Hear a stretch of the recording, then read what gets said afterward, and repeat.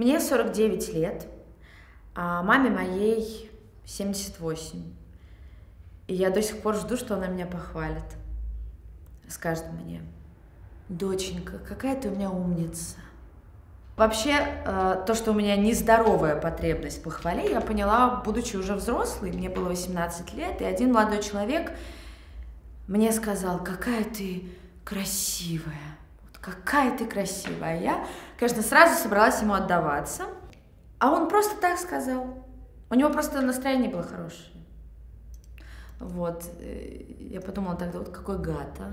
Как он словами разбрасывается.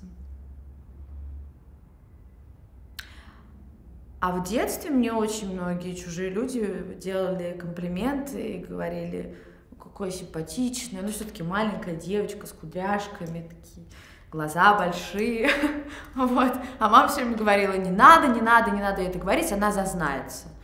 Вот. От мамы я в детстве только слышала одно, всегда, в общем-то. Э, не так сидишь, не так стоишь, э, не то делаешь, не так говоришь, плохо учишься, хотя я была отличницей и вообще ты некрасивая, и вообще э, все не так. И вот это все, что она мне говорила, она называла честностью. Честностью. Ну кто тебе скажет правду, если не я? Кто тебе скажет правду, если не я? А я вот даже в свои 49 до сих пор жду, что она меня похвалит.